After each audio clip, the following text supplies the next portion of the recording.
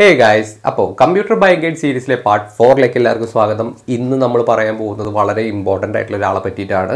അതാണ് clock speed എന്ന് പറയുന്നത്. നൗ സി പി യുന്റെ കോർ എന്താണ് ത്രെഡ് എന്താണ് നെയിം സ്കീം എന്താണെന്നുള്ളതൊക്കെ നമ്മൾ പഴയ വീഡിയോസിൽ പറഞ്ഞു കഴിഞ്ഞു അല്ലേ?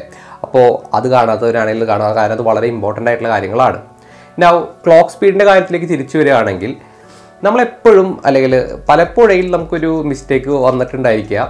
നമ്മളൊരു പഴയ ജനറേഷനിലുള്ള ഒരു സി പി യും പുതിയൊരു ജനറേഷനിലുള്ള ഒരു സി പി യും തമ്മിൽ കമ്പയർ ചെയ്യുന്ന സമയത്ത് പഴയ ജനറേഷനിലെ സി പി യുവിന് ക്ലോക്ക് സ്പീഡ് കൂടുതലാണ്. പുതിയ ജനറേഷനിലൊരു സി പി യുവിനെ ക്ലോക്ക് സ്പീഡ് കുറവാണെങ്കിൽ ഉടനടി നമ്മൾ ചിന്തിക്കാറുണ്ട് അല്ലേ? പഴയ ജനറേഷനിലെ സി പി യു ആണ് ബെറ്റർ എന്നുള്ളത്. കാരണം നമ്മുടെ ഒരു ഐഡിയ എന്താണ്? ക്ലോക്ക് സ്പീഡ് കൂടിക്കഴിഞ്ഞാൽ അതിന്റെ സ്പീഡ് കൂടും എന്നുള്ളതാണ്. വൈൽ ആ ഒരു ഐഡിയ ശരിയാണ്. പക്ഷെ ഒരിക്കലും നമുക്കൊരു പഴയ ജനറേഷനിലെ സി പി യും പുതിയ ജനറേഷനിലെ സി പി യും അങ്ങനെ ക്ലോക്ക് സ്പീഡിന്റെ ബേസിൽ കമ്പയർ ചെയ്യാൻ പറ്റില്ല എന്നുള്ളതാണ്. സോ അത്തരം കാര്യങ്ങളാണ് നമ്മൾ ഇന്ന് പറയാനായിട്ട് പോകുന്നത്. ഓ തൊട്ടങ്ങല്ലേ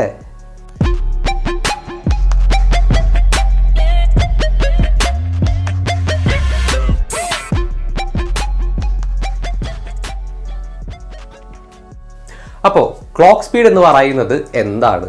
ആ ഒരു പേരിൽ തന്നെ കുറച്ച് വാക്കുകളുണ്ട് അല്ലേ? ക്ലോക്ക് സ്പീഡ് അങ്ങനെ കുറേ കാര്യങ്ങളുണ്ട്. ഇത് ആക്ച്വലി ഉദ്ദേശിക്കുന്നത് ഒരു സി പി യുവിന് ഒരു സെക്കൻഡിൽ എത്ര ക്ലോക്ക് സൈക്കിൾസിനെ ഹാൻഡിൽ ചെയ്യാൻ പറ്റും എന്നുള്ളതിന്റെ അളവിനെ കാണിക്കുന്നതാണ് ക്ലോക്ക് സ്പീഡ് എന്ന് പറയുന്നത്. അതാണ് നമ്മൾ normally one point eight gigahertz three point two gigahertz four point seven gigahertz എന്ന് പറഞ്ഞ് നമ്മൾ കാണിക്കുന്നത്. ഓക്കെ അപ്പോൾ ഒരു സെക്കൻഡിൽ എത്രത്തോളം ക്ലോക്ക് സൈക്കിളിനെ ആ ഒരു സി പി യുനെ ഹാൻഡിൽ ചെയ്യാൻ പറ്റുന്നതിന്റെ അളവിനെയാണ് ക്ലോക്ക് സ്പീഡ് എന്ന് പറയുന്നത്. ഫൈൻ നൗ എന്നാണ് ക്ലോക്ക് സൈക്കിൾ കൊണ്ട് ഇവിടെ ഉദ്ദേശിക്കുന്നത്? ഒരു സി പി യു അതിന്റെ വർക്കുകൾ ചെയ്യുന്നത് ഓരോ ക്ലോക്ക് സൈക്കിൾസിലാണ് ദെൻ ഒരു ക്ലോക്ക് സൈക്കിൾ ഒരു വർക്ക് കുറച്ച് വർക്കുകൾ ചെയ്യുന്ന ചെയ്തു കഴിഞ്ഞാൽ അടുത്ത ക്ലോക്ക് സൈക്കിൾ വരുമ്പോഴാണ് അടുത്ത വർക്കുകൾ അത് കംപ്ലീറ്റ് ചെയ്യുന്നത്. അതിന്റെ അർത്ഥം എന്തായിരിക്കും? വേറൊന്നുമല്ല അല്ലേ? ക്ലോക്ക് സൈക്കിൾസിന്റെ എണ്ണം കൂടുതലാണെങ്കിൽ ആ ഒരു സി പി യുവിന് ചെയ്യാൻ പറ്റുന്ന വർക്കിന്റെ അളവും കൂടുതലായിരിക്കും. അങ്ങനെ അതിന്റെ സ്പീഡ് എന്ന് പറയുന്നതിനും കൂടുതലായിരിക്കും നമുക്ക് സിമ്പിളാക്കി പറയാം അതുകൊണ്ടാണ് ക്ലോക്ക് സ്പീഡ് കൂടുന്ന സമയത്ത് സി പി യുവിന്റെ സ്പീഡ് കൂടുന്നു എന്ന് പറയുന്നത് അല്ലെങ്കിൽ അതിന്റെ പവർ കൂടുന്നു എന്ന് പറയുന്നത്. ഓക്കെ അതൊരു സിമ്പിൾ ലോജിക്കാണ് നൗ നമുക്ക് സി പി യുവിന്റെ സ്പെക് ഷീറ്റിലേക്ക് വരാം അല്ലേ? ഏതൊരു സി പി യുവിന്റെ സ്പെക് ഷീറ്റ് നമ്മൾ നോക്കിക്കഴിഞ്ഞാൽ ക്ലോക്ക് സ്പീഡിന്റെ അവിടെ രണ്ട് കാര്യങ്ങൾ കാണാം അല്ലേ? ഒരു ബേസ് ഫ്രീക്വൻസി ഉണ്ടായിരിക്കും. അതുപോലെ തന്നെ ഒരു മാക്സിമം ഫ്രീക്വൻസി ഉണ്ടായിരിക്കും. ഈ മാക്സിമം ഫ്രീക്വൻസി എന്ന് പറയുന്നത് ഇന്റലിന്റെ കാര്യത്തിലാണെങ്കിൽ അവർ ടർബോ ബൂസ്റ്റ് എന്നാണ് എഴുതിയിട്ടുണ്ടായിരിക്കുക. എ എം ഡി ആണെങ്കിൽ മാക്സിമം ബൂസ്റ്റ് സ്പീഡ് നിന്നായിരിക്കും അല്ലെങ്കിൽ ബൂസ്റ്റ് ക്ലോക്ക് നിന്നായിരിക്കും അവർ എഴുതിയിട്ടുണ്ടായിരിക്കുക. അത് രണ്ടും കാണിക്കുന്നത് മാക്സിമം ഫ്രീക്വൻസിനെയാണ് ഓക്കെ അപ്പോൾ എന്താണ് ഈ കാര്യങ്ങൾ ഉദ്ദേശിക്കുന്നത്?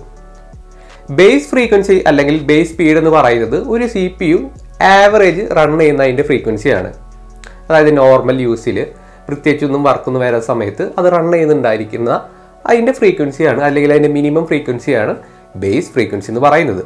ഓക്കെ നൗ അതേസമയം എന്താണ് ഈ മാക്സിമം ഫ്രീക്വൻസി അല്ലെങ്കിൽ ഈ turbo frequency turbo boost maximum boost എന്നൊക്കെ വിളിക്കുന്നത്? വേറൊന്നുമല്ല ആ ഒരു സി പി യുവിനെ അനുവദിച്ചിട്ടുള്ള മാക്സിമം സ്പീഡ് അല്ലെങ്കിൽ മാക്സിമം ഫ്രീക്വൻസിനെയാണ് അതിന്റെ മാക്സിമം ഫ്രീക്വൻസി എന്ന് വിളിക്കുന്നത്. നൗ എന്താണ് ഇവർ തമ്മിലുള്ള പ്രത്യേകതകൾ അതായത് ഒരു സി പി യു എപ്പോഴും ഈ ബേസ് ഫ്രീക്വൻസിയുടെയും മാക്സിമം ഫ്രീക്വൻസിയുടെ ഇടയിലായിരിക്കും വർക്ക് ചെയ്യുന്നുണ്ടാവിക്കുക അതായത് നമ്മൾ സി പി യുന് കൊടുക്കുന്ന വർക്ക് ലോഡ് അനുസരിച്ച് സി പി യു ഓട്ടോമാറ്റിക്കലി ആ ക്ലോക്ക് സ്പീഡിനെ കൂട്ടുകയും കുറയ്ക്കുകയും ഒക്കെ ചെയ്യുന്നുണ്ട്. അതുകൊണ്ട് തന്നെ ഒരു ഫിക്സ്ഡ് പോയിന്റിൽ ഒരിക്കലും സി പി യു നിൽക്കണമെന്നില്ല വർക്ക് കൊടുക്കുന്ന വർക്കിന്റെ ലോഡിനനുസരിച്ച് അതിങ്ങനെ ഫ്ലക്ച്വേറ്റ് ചെയ്തുകൊണ്ടിരിക്കും. അത് കൂടിയും കുറഞ്ഞൊക്കെ ഇരിക്കും. ഓക്കെ നൗ നമ്മൾ സി പി യുവിന്റെ സ്പെക് ഷീറ്റിലേക്ക് നോക്കിക്കഴിഞ്ഞാൽ നമുക്ക് കാണുന്ന മറ്റൊരു കാര്യമാണ്. കോൺഫിഗറബിൾ ടി ഡി പി എന്ന് പറയുന്നത്. അല്ലെങ്കിൽ configurable T D P frequency base frequency എന്ന് പറയുന്നത്. എന്താണ് അത് ഉദ്ദേശിക്കുന്നത്? ഇപ്പം നമുക്കൊരു എക്സാമ്പിളായി ഇപ്പോൾ നിങ്ങൾക്ക് സ്ക്രീനിലാണല്ലേ ഐ ത്രീയുടെ eleven generation C P U ആണ്. ഇതിൽ രണ്ട് കാര്യങ്ങൾ നിങ്ങൾക്ക് ആക്ച്വലി കാണാം. Configurable T D P down base frequency configurable T D P up base frequency എന്ന് പറയുന്നത്. അപ്പോൾ ഇതെന്ത് ഫ്രീക്വൻസിനെയാണ് കാണിക്കുന്നത് അല്ലേ അത് സിമ്പിളാണ് ആക്ച്വലി നമ്മൾ ആ പേരിലേക്ക് തന്നെ എടുക്കുക കോൺഫിഗറബിൾ ടി ഡി പി എന്നുള്ളതാണ് ആദ്യത്തെ ഒരു വാക്ക് അല്ലേ? അപ്പോൾ ടി ഡി പി എന്താണെന്നുള്ളത് അറിയണം. ടി ഡി പി കാണിക്കുന്നത് എന്താണ്? പവർ കൺസപ്ഷനെയാണ് ടി ഡി പിയുടെ full form thermal thermal design power എന്നുള്ളതാണ്. പക്ഷെ അത് ആക്ച്വലി കാണിക്കുന്നത് എത്ര പവർ നമ്മുടെ സി പി യു കൺസ്യൂം ചെയ്യുന്നുണ്ട് എന്നുള്ളതാണ്. അതായത് നമ്മുടെ ഒരു സി പി യു കൂടുതൽ ക്ലോക്ക് സ്പീഡിലേക്ക് പോകും തോറും പെർഫോമൻസ് കൂടുന്നെന്ന് പറഞ്ഞു. പക്ഷെ അതേസമയം സമയം എന്തും കൂടുന്നുണ്ട്. ആ സി പി യു ഉപയോഗിക്കുന്ന പവർ കൺസപ്ഷനും കൂടുന്നുണ്ട്. എന്ത് പവർ കൺസപ്ഷൻ ഇലക്ട്രിക്കൽ പവർ കൺസപ്ഷനും കൂടുന്നുണ്ട്. അപ്പോൾ ഹയർ ക്ലോക്ക് സ്പീഡിൽ പോകുമ്പോൾ കൂടുതൽ പവർ ഇലക്ട്രിക്കൽ പവർ നമ്മുടെ സി പി യൂസ് ചെയ്യും. അപ്പോൾ ആ ഒരു പവറിനെ കാണിക്കാൻ ഉപയോഗിക്കുന്ന വാക്കാണ് ടി ഡി പി എന്ന് പറയുന്നത്. നൗ ടി ഡി പിന്നെ തെർമൽ ഡിസൈൻ പവർ എന്ന് വിളിക്കുന്നതിന് മറ്റൊരു കാരണം കൂടിയുണ്ട് അതായത് എത്ര ഹീറ്റ് അതിൽ നിന്നും ഡിസപ്പിയേറ്റ് ചെയ്യുന്നുണ്ടതിന്റെ അളവ് കൂടിയാണ്. എത്ര? അതായത് ഒരു സി പി വർക്ക് ചെയ്യുമ്പോൾ അവിടെ ഹീറ്റ് പ്രൊഡ്യൂസ് ചെയ്യില്ലേ? ആ ഒരു ഹീറ്റ് ഡിസപ്പിയേഷന്റെ അളവ് കൂടി കാണിക്കുന്നതിനെയാണ് ഈ ടി ഡി പി നമ്മൾ ഉപയോഗിക്കുന്നത്. അപ്പോൾ ഇതിൽ നിങ്ങൾ മനസ്സിലാക്കേണ്ട പോയിന്റ് എന്താണ്? ഒന്നാമത്തെ കാര്യം സി പി എന്ന് പറയുന്നത് ഹയർ ക്ലോക്ക് സ്പീഡിലേക്ക് പോകും തോറും കൂടുതൽ ക്ലോക്സ് ഇലക്ട്രിക്കൽ പവർ ഉപയോഗിച്ചുകൊണ്ടിരിക്കും. അത്രയും ഇലക്ട്രിക്കൽ പവർ ഉപയോഗിക്കുമ്പോൾ അത്രയും ഹീറ്റും അവിടെ പ്രൊഡ്യൂസ് ചെയ്യുന്നുണ്ട്. ഈ രണ്ട് കാര്യങ്ങൾ നിങ്ങൾ മനസ്സിൽ വയ്ക്കുക. ഓക്കെ now നമ്മുടെ സ്പെക് ഷീറ്റിലേക്ക് നമുക്ക് തിരിച്ചു പോവാം. ഇവിടെ നമുക്ക് configurable T D P down എന്നൊരു കാര്യം കാണാം. അതിന് നേരെ എഴുതിയിട്ടുള്ള എന്താണ്? പന്ത്രണ്ട് വാട്ട് എന്നുള്ളതാണ്. അപ്പോൾ ടി ഡി പി എന്താന്ന് പറഞ്ഞു? എന്താണ് ഈ കോൺഫിഗറബിൾ ടി ഡി പി എന്ന് പറയുന്നത്? കോൺഫിഗറബിൾ എന്ന് ഉദ്ദേശിക്കുന്ന അവിടെ നമുക്കത് ചേഞ്ച് ചെയ്യാൻ പറ്റും എന്നുകൊണ്ടാണ് അവർ കോൺഫിഗറബിൾ എന്ന് എഴുതുന്നത്. Now configurable T D P down എന്ന് പറയുന്നത് എന്താണ്? നിങ്ങൾക്ക് ആ ഒരു സി പി യുവിന്റെ പവർ കൺസപ്ഷനെ കുറയ്ക്കാനായിട്ട് സാധിക്കും എന്നുള്ളതാണ്. ഇവിടെ configurable T D P down എന്ന് പറയുന്നത് പന്ത്രണ്ട് വാട്ടാണ് അതിനർത്ഥം നിങ്ങൾക്ക് സി പി യുവിന്റെ പവർ കൺസപ്ഷനെ പന്ത്രണ്ട് വാട്ടിലേക്ക് കുറയ്ക്കാനായിട്ട് സാധിക്കും എന്നുള്ളതാണ്. നൗ അതേസമയം അതിന് തൊട്ട് മുകളിൽ ഒരു കാര്യം കൂടി എഴുതിയിട്ടുണ്ട് അല്ലേ? Configurable T D P down base frequency എന്ന് എഴുതിയിട്ടുണ്ട്. അപ്പോൾ അത് കാണിക്കുന്നത് എന്താണ്? നമ്മൾ അതിന്റെ ടി ഡി പി ഒരു സി പി യുവിന്റെ ടി ഡി പി കുറച്ച് കഴിഞ്ഞാൽ അത് റൺ ചെയ്യുന്ന അതിന്റെ ഫ്രീക്വൻസിനെയാണ് ഈ configurable T D P down base frequency എന്ന് പറയുന്നത്. നമ്മൾ മുന്നേ പറഞ്ഞു അല്ലേ? ഒരു സി പിന്റെ ക്ലോക്ക് സ്പീഡ് കൂടണമെങ്കിൽ കൂടുതൽ പവർ കൊടുക്കണം കുറയ്ക്കണമെങ്കിൽ സ്പീഡ് കുറയ്ക്കണമെങ്കിൽ കുറവ് ഇലക്ട്രിക്കൽ പവർ കൊടുത്താൽ മതി. അത് തന്നെയാണ് ഇവിടെ ഉദ്ദേശിക്കുന്നുള്ളൂ. Now configurable T D P down എന്നതിന്റെ നേരെ എഴുതിയിട്ടുള്ളത് എന്താണ്? വൺ പോയിന്റ് സെവൻ ജിഗാഹെഡ്സ് എന്നാണ്. അപ്പം അതിനർത്ഥം പന്ത്രണ്ട് വാട്ടിലേക്ക് നിങ്ങൾ സി പി യുവിന്റെ ടി ഡി പി കുറച്ച് കഴിഞ്ഞാൽ വൺ പോയിന്റ് സെവൻ ജിഗാഹെഡ്സിലായിരിക്കും ആ ഒരു സി പി യു റൺ ചെയ്യുന്നുണ്ടായിരിക്കുക എന്നുള്ളതാണ്. ഓക്കെ നൗ അതേസമയം അതിന് തൊട്ട് മുകളിൽ എന്തിനാണ് ഇതൊക്കെ ഉപയോഗിക്കുന്നത് നമുക്ക് പറയാം. ഓക്കെ അപ്പോൾ ഇനി ഇനി ഒരു കാര്യം കൂടി ഉണ്ട് അല്ലേ? ഇതിൽ ഇതിന്റെ തൊട്ട് മുകളിൽ എഴുതിയിട്ടുണ്ട് configurable T D P up എന്ന് എഴുതിയിട്ടുണ്ട്. അതെന്താണ്? ടി ഡി പി എന്ന് പറയുന്നത് നമുക്ക് ഉയർത്താൻ പറ്റും എന്നുള്ളതാണ് അതിന് നേരെ എഴുതിയിട്ടുള്ളത് ഇരുപത്തെട്ട് വാട്ട് എന്നാണ്. അപ്പോൾ ഇരുപത്തെട്ട് വാട്ട് വരെ നിങ്ങൾക്ക് ഉയർത്താനായിട്ട് സാധിക്കും. അപ്പോൾ അതിന് മുകളിൽ എഴുതിയിട്ടുണ്ട് എന്ത്? Configurable T D P up base frequency എന്ന് എഴുതിയിട്ടുണ്ട് അല്ലേ? അതായത് നിങ്ങൾ ടി ഡി പി അപ്പ് ചെയ്ത് കഴിഞ്ഞാൽ ആ ഒരു സി പി യു ഉണ്ടായിരിക്കുന്ന ഫ്രീക്വൻസിയാണ് അത് കാണിക്കുന്നത്. അവിടെ ത്രീ പോയിന്റ് സീറോ ജിഗാർട്സ് എന്നാണ് എഴുതിയിട്ടുള്ളത്. അതായത് നിങ്ങൾ സി പി യുന്റെ ടി ഡി പി എന്ന് പറയുന്നത് ഇരുപത്തെട്ട് വാട്ടിലേക്ക് ഉയർത്തി കഴിഞ്ഞാൽ അതിന്റെ ബേസ് ഫ്രീക്വൻസി എന്ന് പറയുന്നത് എത്രയും മാറും? മൂന്ന് ജിഗാഡ്സ് ആയിട്ട് മാറും എന്നുള്ളതാണ്. ഓക്കെ അപ്പോൾ അത് നിങ്ങൾക്ക് മനസ്സിലായെന്ന് വിചാരിക്കുന്നു. നമ്മുടെ ഒരു സി പി യുവിന്റെ ക്ലോക്ക് സ്പീഡ് കൂട്ടുക എന്ന് പറയുന്നത് അതിനെ ടി ഡി പി ഉയർത്തുക എന്നുള്ളതാണ് കുറയ്ക്കുക എന്ന് പറയുന്നത് ടി ഡി പി കുറയ്ക്കുക എന്നുള്ളതാണ്. അപ്പോൾ ആ കുറയ്ക്കുമ്പോൾ എത്ര ബേസ് ഫ്രീക്വൻസി ആവുന്നു കൂട്ടുമ്പോൾ എത്ര ബേസ് ഫ്രീക്വൻസി ഉണ്ടാവുന്നു എന്നതിന്റെ അളവിന് കാണിക്കാൻ വേണ്ടിയിട്ടാണ് ഇത്തരം കാര്യങ്ങൾ സ്പെക് ഷീറ്റിൽ അവർ എഴുതുന്നത്. നൗ ഇതൊക്കെ എവിടെയാണ് ഉപയോഗം വരുന്നത് അല്ലേ? നമ്മൾ വെറുതെ ഇത് വായിച്ചിട്ട് കാര്യമില്ല. ഇതൊക്കെ എവിടെയാണ് നമ്മൾ ഉപയോഗിക്കുന്നത് നമുക്കറിയണം. ഇത് ആക്ച്വലി നമുക്ക് മാനുഫാക്ചറേഴ്സ് ആണ് ഇത് കൂടുതൽ ഉപയോഗിക്കുന്നത്. അതായത് നിങ്ങൾ ലാപ്ടോപ്പുകളിൽ പലപ്പോഴും പവർ ലിമിറ്റ് ചെയ്തിട്ടാണ് മാനുഫാക്ചറേഴ്സ് വെക്കുന്നുണ്ടായിരിക്കാം അതായത് ടി ഡി പി ഇത്ര ലിമിറ്റിലേക്ക് അവർ സെറ്റ് ചെയ്ത് വെക്കും. അപ്പോൾ അതിന്റെ ഉപയോഗിക്കുന്ന ഫ്രീക്വൻസിയും അതിന്റെ കുറവായിരിക്കും അല്ലേ? അതാണ് നമ്മളവിടെ പഠിച്ചത്. അതെന്തുകൊണ്ടാണ്? ലാപ്ടോപ്പുകൾ ബാറ്ററി പവേർഡാണ് അല്ലേ? നമ്മളെപ്പോഴും പറയാറുണ്ട് നിങ്ങൾക്ക് ഹൈ ഇന്റൻസിറ്റി വർക്ക് ലോഡ് വരുന്ന സമയത്ത് എപ്പോഴും ലാപ്ടോപ്പ് പ്ലഗ് ഇൻ ചെയ്ത് വർക്ക് ചെയ്യണം നമ്മൾ പറയാറുണ്ട് അല്ലേ? അതെന്തുകൊണ്ടാണ്? പ്ലഗ് ഇൻ ചെയ്ത് ചെയ്താൽ മാത്രമാണ് നിങ്ങളുടെ സി പി യുവിനും ജി പി യുവിനും അതിന്റെ മാക്സിമം ക്ലോക്ക് സ്പീഡിലേക്ക് പോകാനായിട്ട് സാധിക്കുള്ളൂ. അതിനെ വലിയൊരു കാര്യമുണ്ട്. അതായത് എപ്പോഴും മാനുഫാക്ചേഴ്സ് ചെയ്യുന്നൊരു കാര്യം നിങ്ങളുടെ പ്ലഗ് ഇൻ ചെയ്തിട്ടില്ലെങ്കിൽ നിങ്ങളുടെ സി പി യുവിന്റെ ടി ഡി പിനെ അവർ ലിമിറ്റ് ചെയ്ത് വെക്കും. കാരണം ഇപ്പോൾ അങ്ങനെ ഒരു ലിമിറ്റ് അവിടെ ഇട്ടില്ല എന്ന് വിചാരിക്കുക. അപ്പോൾ എന്ത് സംഭവിക്കും? നമ്മുടെ സി പി യു നിങ്ങൾ വലിയൊരു ഹൈ വർക്ക് ലോഡ് നിങ്ങളുടെ സി പി യുവിന് കൊടുക്കുകയാണ്. അപ്പോൾ അത് റൺ ചെയ്യണമെങ്കിൽ C P U automatically clock speed ഇങ്ങനെ കൂട്ടിക്കൊണ്ടുവരും. ആ കൂട്ടിക്കൊണ്ടുവരുന്ന സമയത്ത് എന്ത് സംഭവിക്കും? കൂടുതൽ പവർ എടുക്കും അല്ലേ? അപ്പോൾ പ്ലഗ് ഇൻ ചെയ്യാത്ത കാരണം ബാറ്ററിയിൽ നിന്നാണ് അത് കൂടുതൽ പവർ എടുക്കുന്നത്.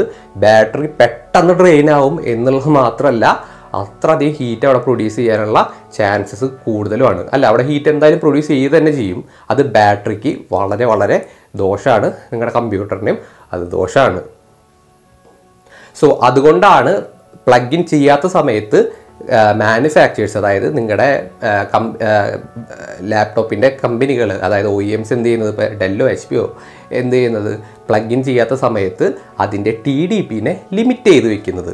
ഓക്കെ അപ്പോൾ അത്തരം ലിമിറ്റേഷൻസ് കൊണ്ടുവരാനാണ് നമ്മൾ നേരത്തെ പറഞ്ഞ കാര്യങ്ങൾ എഴുതിയിട്ടുള്ളത്. അതായത് പന്ത്രണ്ട് വാട്ടിലേക്ക് കുറച്ച് കഴിഞ്ഞാൽ ആകെ വൺ പോയിന്റ് സെവൻ ജിഗാഡ്സ് അവിടെ ഉപയോഗിക്കുള്ളൂ. അതിന് മുകളിലേക്ക് ഒന്നും അതിന് ഉപയോഗിക്കാനായിട്ട് സാധിക്കില്ല. കാരണം അവിടെ ലിമിറ്റ് വെച്ചിട്ടുള്ള കാരണം. ഓക്കെ അതുകൊണ്ടാണ് അത്തരം സാഹചര്യങ്ങളിലാണ് നമ്മൾ ഈ ടി ഡി പി ഉപയോഗിക്കുന്നത്. നൗ കുറേ സെറ്റിങ്സ് ഒക്കെ നിങ്ങൾ ഇതൊക്കെ ചേഞ്ച് ചെയ്യാൻ വേണമെങ്കിൽ ഓക്കെ ഇന്റലിലൊക്കെ യൂട്ടിലിറ്റീസ് കുറേ ഉണ്ട്.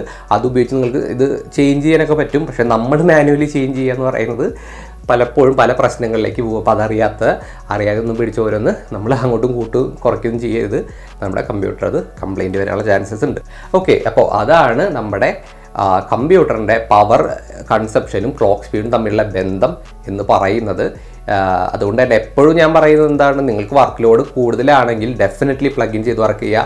അവിടെ നൂറ് ശതമാനം ബാറ്ററി ചാർജ് ആയാൽ പോലും പ്ലഗ് ഇൻ ചെയ്ത് തന്നെ വർക്ക് ചെയ്യുക. കാരണം എന്തുകൊണ്ടാണ്? പ്ലഗ് ഇൻ ചെയ്ത് കഴിഞ്ഞാൽ ഡയറക്റ്റ് പവർ എടുക്കുന്നത് നമ്മുടെ പവർ സപ്ലൈയിൽ നിന്നാണ്. ഓക്കെ നമ്മുടെ ഡയറക്റ്റ് വോൾ പ്ലഗിൽ നിന്നാണ് ആ പവർ പവർ എടുക്കുന്നത് ബാറ്ററിയിൽ നിന്നല്ല. അപ്പോൾ നമ്മുടെ ലാപ്ടോപ്പിനെ എത്ര വേണമെങ്കിലും പവർ എടുക്കാം അല്ലേ? ബാറ്ററിനെ പറ്റി ചിന്തിക്കാതെ. അതുകൊണ്ട് higher work load higher work load എന്ന് പറയുന്നത് ലൈക്ക് നിങ്ങൾ വലിയൊരു വീഡിയോ എഡിറ്റ് ചെയ്യുകയാണ് ഫോട്ടോ എഡിറ്റിംഗ് ചെയ്യുകയാണ് ഓട്ടോ ക്യാഡ് ചെയ്യുകയാണ് പ്രൊഡക്ടിവിറ്റി എന്ത് വർക്കുകൾ ചെയ്യുകയാണെങ്കിലും ദയവായി പ്ലഗ് ഇൻ ചെയ്ത് തന്നെ ലാപ്ടോപ്പ് ഉപയോഗിക്കുക. എന്നാൽ മാത്രമാണ് നിങ്ങൾക്ക് ഹയർ പെർഫോമൻസ് അവിടെ കിട്ടുള്ളൂ. എന്നാലാണ് ആ ലിമിറ്റ് നമുക്ക് എക്സീഡ് ചെയ്യാനായിട്ട് സാധിക്കുള്ളൂ. ഓക്കെ നൗ ഇതേ കാര്യം തന്നെ നിങ്ങൾ ഐ എം ഡിയുടെ സ്പെക് ഷീറ്റ് നോക്കിയാൽ നിങ്ങൾക്ക് അവിടെ ഈ കോൺഫിഗറബിൾ ടി ഡി പി എന്നുള്ളത് കാണാം. അത് ഞാൻ രണ്ടാമത് എടുത്ത് പറയുന്നില്ല. ഇനി ഒരേ ഒരു കാര്യം കൂടി ഉള്ള അവസാനമായിട്ട് പറയാനുള്ളത്.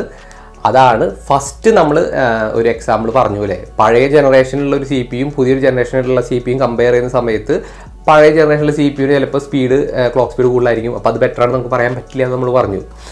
അതെന്തുകൊണ്ടാണ്? അത് നമുക്കൊരു എക്സാമ്പിളിലൂടെ തന്നെ എടുക്കാം.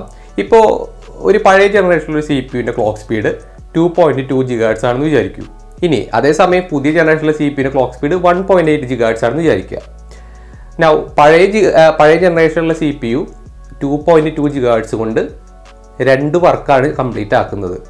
അതേസമയം പുതിയ ജനറേഷനിലെ C P U one point gigahertz കൊണ്ട് രണ്ട് വർക്ക് കംപ്ലീറ്റ് ചെയ്ത് കഴിഞ്ഞാൽ എന്താണ് അതിനർത്ഥം കുറവ് ക്ലോക്ക് സ്പീഡ് കൊണ്ട് അവിടെ കൂടുതൽ ക്ലോക്ക് സ്പീഡ് പഴയ ജനറേഷനിലെ സി പി യു കൂടുതൽ ക്ലോക്ക് സ്പീഡ് കൊണ്ട് ചെയ്ത കാര്യം നമുക്ക് പുതിയ ജനറേഷനിലെ സി പി യുവിനെ കുറവ് ക്ലോക്ക് സ്പീഡ് കൊണ്ട് ചെയ്യാൻ പറ്റിയെന്നുള്ളതാണ് അവിടെ ഉദ്ദേശിക്കുന്നത് അല്ലേ?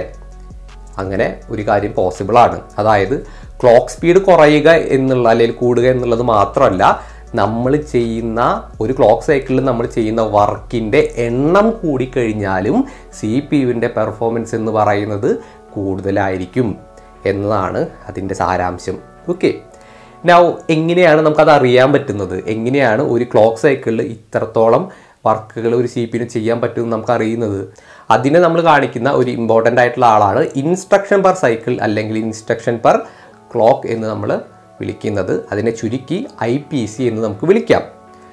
ഈ ഐ പി സി കാണിക്കുന്നത് എന്താണ്? ഒരു ക്ലോക്ക് സൈക്കിളിൽ ഒരു സി പി യുന് ചെയ്യാൻ പറ്റുന്ന ഇൻസ്ട്രക്ഷൻസിന്റെ എണ്ണത്തിനെയാണ്. ഇൻസ്ട്രക്ഷൻസിന്റെ എണ്ണം എന്ന് പറയുന്നത് ഈ വർക്കിന്റെ എണ്ണം തന്നെയാണ്. അതായത് ഇൻസ്ട്രക്ഷൻസിന്റെ ഇൻസ്ട്രക്ഷൻ എന്ന് പറയുന്നതിന്റെ മലയാളം എന്താണ്? നിർദ്ദേശം എന്നുള്ളതാണ്. ഒരു സി പി യു സ്വന്തം ചിന്തിച്ചിട്ടല്ല ഒരു കാര്യം ചെയ്യുന്നത്. അതിന് കൊടുക്കുന്ന നിർദ്ദേശങ്ങൾക്കനുസരിച്ചാണ് വർക്ക് ചെയ്യുന്നത്. ഓക്കെ അപ്പം നമ്മൾ ഒരു സി പി കൊടുക്കുന്ന നിർദ്ദേശത്തിന്റെ അളവ് കൂടുതലാണെങ്കിൽ ആ നിർദ്ദേശങ്ങൾക്കനുസരിച്ച് സി പി യു ചെയ്യുന്ന വർക്കിന്റെ അളവും കൂടുതലായിരിക്കും. ഓക്കെ അപ്പോൾ ഐ പി സി എന്ന് പറയുന്ന ഒരു സംഭവം കൂടുതലാണെങ്കിൽ ആ സി പി യുവിന്റെ പെർഫോമൻസ് അല്ലെങ്കിൽ അതിന്റെ സ്പീഡ് എന്ന് പറയുന്നതും കൂടുതലായിരിക്കും. അതുകൊണ്ടാണ് നമ്മൾ നേരത്തെ പറഞ്ഞ ആ ഒരു എക്സാമ്പിളിൽ കുറവ് ക്ലോക്ക് സ്പീഡ് കൊണ്ട് എങ്ങനെയാണ് നമുക്ക് കൂടുതൽ വർക്ക് ചെയ്യാൻ പറ്റുന്നത്? കുറവ് ക്ലോക്ക് സ്പീഡ് ആണെങ്കിൽ പോലും അതിന്റെ ഐ പി സി എന്ന് പറയുന്നത് കൂടുതലാണ്. അതുകൊണ്ടാണ് അവിടെ ക്ലോക്ക് സ്പീഡ് കുറഞ്ഞിട്ടും ആ ഒരു പുതിയ ജനറേഷൻ ഒരു സി പി യുവിന് കൂടുതൽ വർക്ക് ചെയ്യാനായിട്ട് സാധിച്ചത്. ഓക്കെ നൗ അപ്പോൾ എങ്ങനെയാണ് ഈ ഐ പി സിയുടെ അളവ് അറിയുന്നത്? നമ്മുടെ സി പി യുവിന്റെ ഐ പി സിയുടെ അളവ് നമുക്ക് എങ്ങനെയാണ് അറിയുന്നത്? അത് നിങ്ങൾ ഒരു സ്പെക്ഷീറ്റിൽ നോക്കിക്കഴിഞ്ഞാൽ അത് കാണാനായിട്ട് പറ്റില്ല. അതിന്റെ കാരണം അതൊരു യൂസർ എന്നുള്ള നിലയിൽ നമ്മളത് ചിന്തിക്കേണ്ട വലിയൊരു തല പുകഞ്ഞ് ചിന്തിക്കേണ്ട ഒരു ആളല്ല. അത് ഒരു കമ്പനികളും സി പി യുന്റെ കമ്പനികൾ അത് പുറത്ത് വിടാറുമില്ല. ഓക്കെ പക്ഷെ നിങ്ങൾ മനസ്സിലാക്കേണ്ടത് അപ്പോൾ എന്ത് ചെയ്യും? അങ്ങനെ ഐ പി സി എത്രയാണെന്ന് അറിയാതെ നമ്മൾ എങ്ങനെ അത് ഇവാലുവേറ്റ് ചെയ്യും? ഒരു സി പി യുനെ ചോദിക്കുകയാണെങ്കിൽ പുതിയ ജനറേഷനിലുള്ള ഒരു സി പി യു എടുക്കാൻ നിർബന്ധിക്കുന്നതിന്റെ കാരണം അതാണ്. കാരണം പുതിയ ജനറേഷനിൽ ഒരു സി പി യു വരുമ്പോൾ അതിന്റെ ആർക്കിടെക്ചർ വ്യത്യാസം വരുന്നുണ്ട് കോറിന്റെ ആർക്കിടെക്ചറിൽ വ്യത്യാസം വരുന്നുണ്ട് അതിന്റെ ക്ലോക്ക് സ്പീഡിൽ ഡിഫറൻസ് വരുന്നുണ്ട് ക്യാഷ് മെമ്മറിയിൽ വ്യത്യാസം വരുന്നുണ്ട് അവർ പവർ ഷെയർ അവരുടെ പവർ ഷെയറിങ്ങിൽ വ്യത്യാസം വരുന്നുണ്ട്. കുറേ അധികം കാര്യങ്ങൾ വ്യത്യാസം വരുന്നുണ്ട് അല്ലേ? ആ ഒരു വ്യത്യാസം വരുമ്പോൾ ഓട്ടോമാറ്റിക്കലി അതിന്റെ ഇൻസ്ട്രക്ഷൻ പെർ ക്ലോക്ക് എന്ന് പറയുന്നതും വ്യത്യാസം വരും. അതുകൊണ്ടാണ് പുതിയ ജനറേഷനിലുള്ള സി പി യു എടുക്കുകയും എടുക്കുകയും നമ്മൾ എപ്പോഴെപ്പോഴും പറയുന്നതിന്റെ കാരണം. കാരണം ഐ പി സി എന്ന് പറയുന്ന അവിടെ ഡിഫറെന്റ് ആവാനുള്ള ചാൻസ് കൂടുതലാണ്. ഓക്കെ സോ അതുകൊണ്ട് തന്നെ മറ്റൊരു കാര്യത്തിൽ പറയാനുള്ളത് നമ്മൾ രണ്ട് ഡിഫറെന്റ് കമ്പനികളുടെ ഇപ്പോൾ എ എം ഡിയുടെ സി ഇന്റലിലും രണ്ട് സി പി യു എടുത്ത് എ എം ഡിയുടെ clock speed C P C clock speed കുറവാണ് ഇന്റലിൽ കൂടുതലാണെന്ന് പറയുന്ന അർത്ഥം എ എം ഡി സ്ലോ ആണെന്നുള്ളതല്ല. അവിടെ കംപ്ലീറ്റ്ലി ഡിഫറെന്റ് ആണ്. എ എം ഡി യൂസ് ചെയ്യുന്ന ആർക്കിടെക്ചർ അല്ല ഇന്റൽ യൂസ് ചെയ്യുന്നത്. ഐ മീൻ ഇന്റലി കോറിന്റെ ബാക്കിയുള്ള ആർക്കിടെക്ചർ എന്ന് പറയുന്നത് ഡിഫറെന്റ് ആണ്.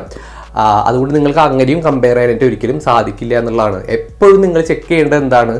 ബെഞ്ച് മാർക്കാണ് ബെഞ്ച് മാർക്ക് ചെക്ക് ചെയ്ത് കഴിഞ്ഞാൽ നിങ്ങൾക്ക് അവിടെ അല്ലാതെ അവർ കമ്പയർ ചെയ്തിട്ടാണ് നമുക്ക് ആ റിസൾട്ട് തരുന്നത്. അങ്ങനെയേ നിങ്ങൾക്ക് രണ്ട് സി പി യുവിന്റെ പെർഫോമൻസ് മനസ്സിലാക്കാനായിട്ട് സാധിക്കൂ എന്നുള്ളതാണ്. ഓക്കെ അപ്പോൾ അതാണ് ക്ലോക്ക് സ്പീഡും അതിന്റെ മറ്റ് കാര്യങ്ങളും. നിങ്ങൾക്കത് നിങ്ങൾക്കത് മനസ്സിലായെന്ന് വിചാരിക്കുന്നു. ഇതിപ്പോൾ പറഞ്ഞതിൽ ചെറിയ കൺഫ്യൂഷൻസ് ഉണ്ടെങ്കിൽ നിങ്ങൾ ഈ വീഡിയോ ഒന്ന് കുറച്ചൊന്ന് റിപ്പീറ്റ് അടിച്ച് കണ്ടു കഴിഞ്ഞാൽ നിങ്ങൾക്കത് മനസ്സിലാവും. അതിൽ അത്ര നമ്മൾ ഡിഫിക്കൽട്ടായിട്ടൊന്നും നമ്മൾ പറയുന്നില്ല. നമ്മൾ എപ്പോഴും ഒരു സി പി എടുക്കുമ്പോൾ ശ്രദ്ധിക്കേണ്ടത് എന്താണ്? ഒന്നാമത്തെ കാര്യം നമ്മളിപ്പോൾ പറഞ്ഞത് തന്നെ പുതിയ ജനറേഷനിലേക്ക് നോക്കുക. രണ്ട് സി പി യുസ് കമ്പയർ ചെയ്യുന്ന സമയത്ത് ബെഞ്ച് മാർക്ക് ചെക്ക് ചെയ്യുക. ഓക്കെ അതിന്റെ ഈ ലാപ്ടോപ്പ് നിങ്ങൾ ഉപയോഗിക്കുന്ന സമയത്ത് ഹൈ ഇന്റൻസിറ്റി ലോഡ് വരുന്ന സമയത്ത് പ്ലഗ് ഇൻ ചെയ്ത് വർക്ക് ചെയ്യുക. ഇത്തരം കാര്യങ്ങളൊക്കെ മനസ്സിൽ വെക്കുക എന്നുള്ളതാണ് നമ്മൾ ഈ പറഞ്ഞ എല്ലാത്തിന്റെയും ഉദ്ദേശം എന്ന് പറയുന്നത്. ഓക്കെ സോ എല്ലായ്പ്പോഴും പറയുന്ന പോലെ ഈ വീഡിയോ ഇഷ്ടപ്പെട്ട് കഴിഞ്ഞാൽ ലൈക്ക് ചെയ്യുക സബ്സ്ക്രൈബ് ചെയ്യുക. ആ ബെൽ ഐക്കൺ ക്ലിക്ക് ചെയ്ത് കാണുന്നവരെ ബൈ